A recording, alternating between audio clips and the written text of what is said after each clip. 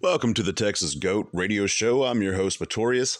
This is part one of the 1738 live stream from Owen. I swear I am not gay Benjamin, or I've never kissed a guy Benjamin, or I love that Steven Crowder was my alpha Benjamin. Pick one. Now this is a this is going to be an interesting one, I think, just because Stanley Kubrick, the director of the movie Lolita, which somebody so graciously pointed out to me in the comments section.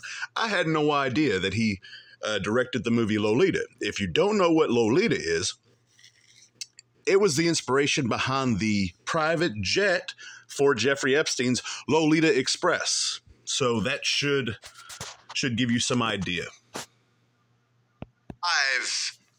Hi. Hi. Let's let me double check and make sure we're live. We're on our Telegram chat.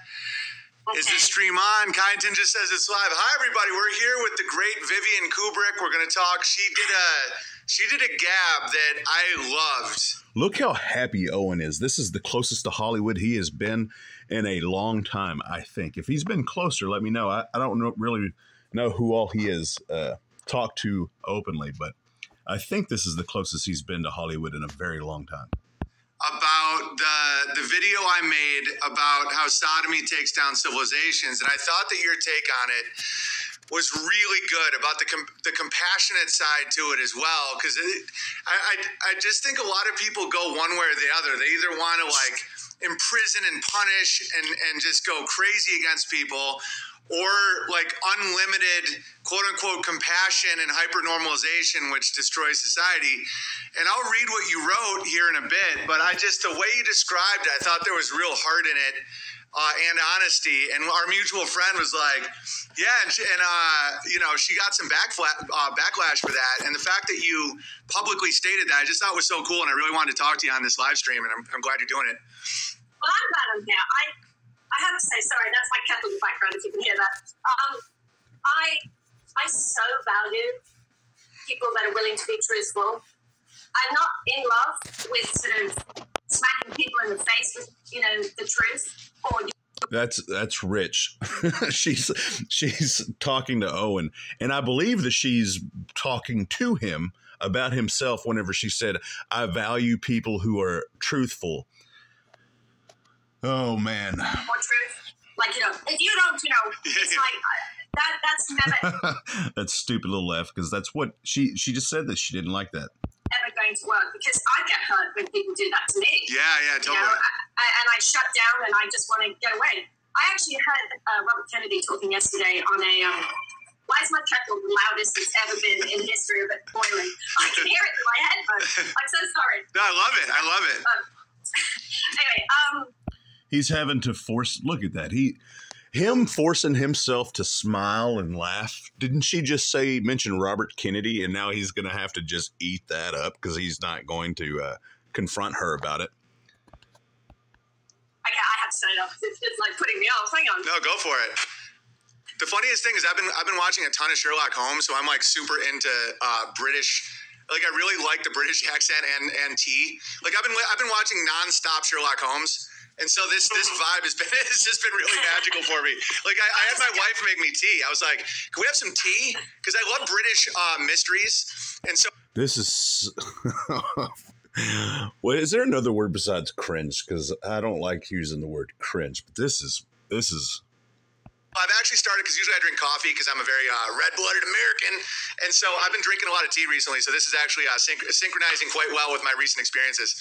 Well, I'll whip out my violin and my opium in a second. I love it. Um, That's awesome. um, yeah, for people who know the real Sherlock Holmes. Yeah.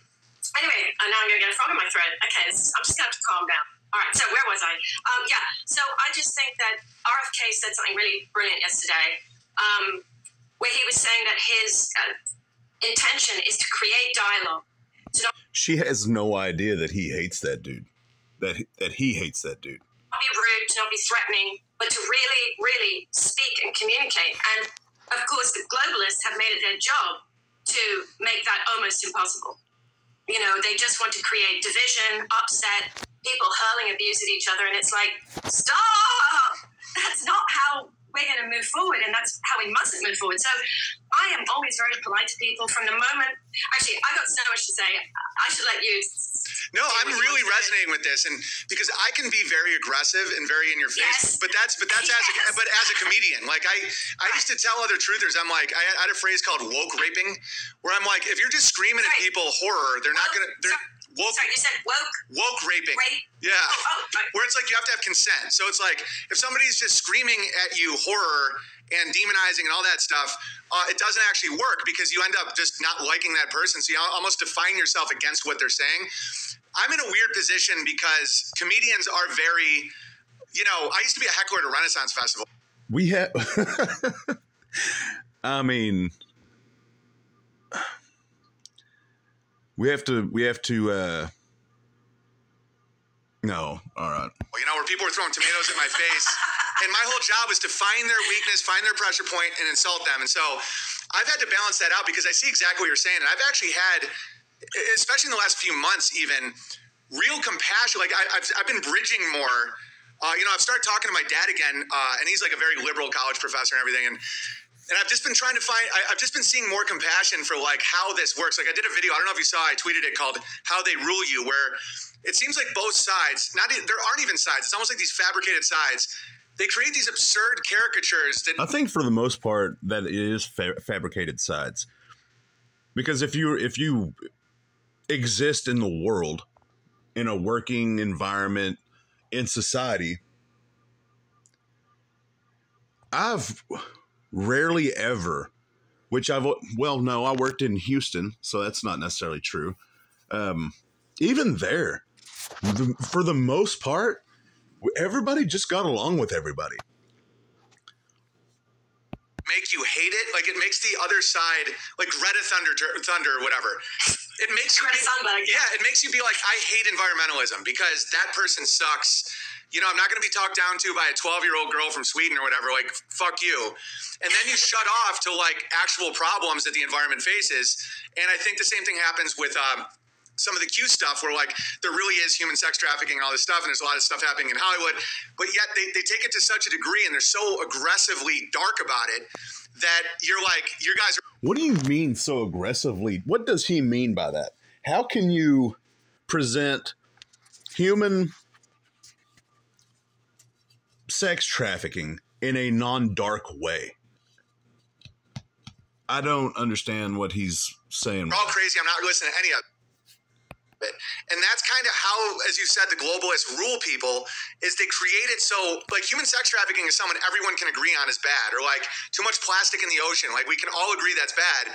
But they create these like little demonic little idols and then no one can talk about things that we should agree on. And it's also very feminine masculine. It's like you know i see the right wing a lot of times is more masculine. We're like you know, you have the nationalism and you have like uh, low taxes and guns and all this stuff, like the stuff I relate to. And then the feminine side is like, you know, everyone needs food and everyone's equal. And as someone with four little kids, that that's great that a mom's like that. Like my wife views our four children the way a, like a leftist would view them. It's like they're all special. They all need food.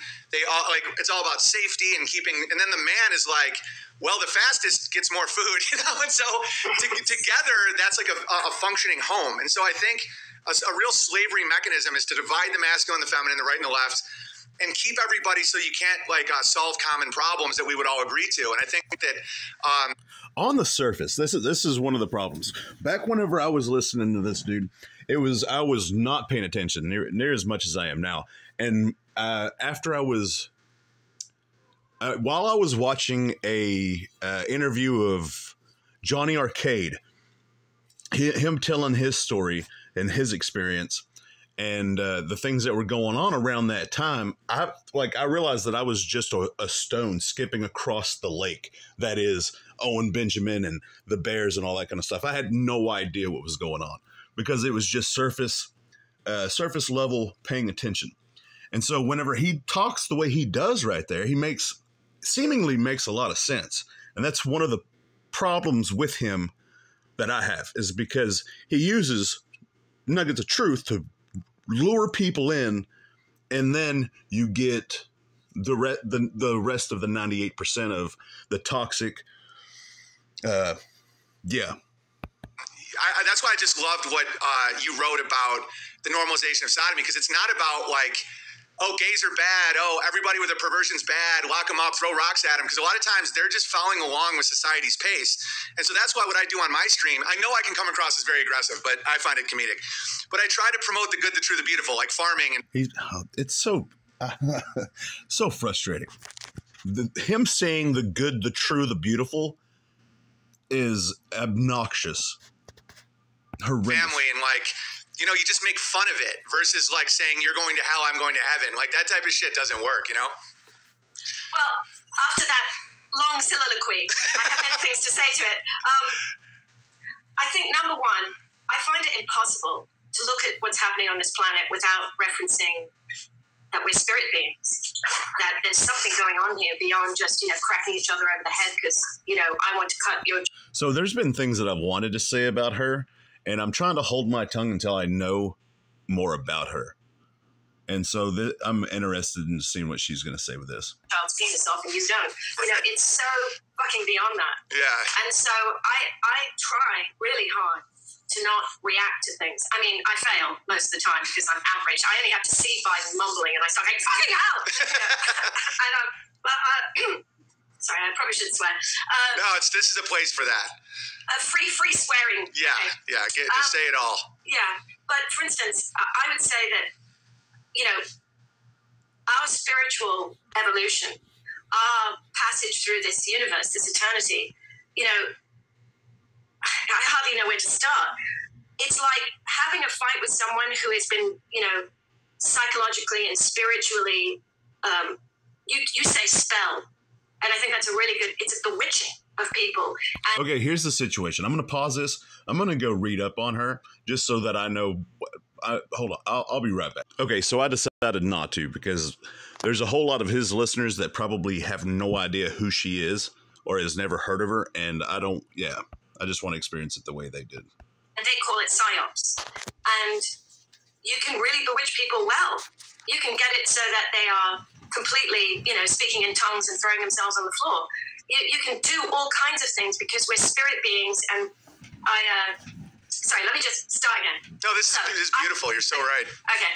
Well, so how is it that we can start to get into, unpack what it is to be human? And I would say, from all the experience that I've had in this lifetime, because oh, let me just start there. I can remember many of my lifetimes, and I know Okay. huh. many people can. And it kind of crept up on me as I grew up. Um, and I just think that if this universe only lets you have one go around, and if you screw up too fucking bad, you're obliterated, that's the dumbest universe that ever was. Because I see this as consciousness trying to grow in a way that is extraordinary. I mean, there's no words to. All right, so I'm going to speed this up. It's, I can't really hear her.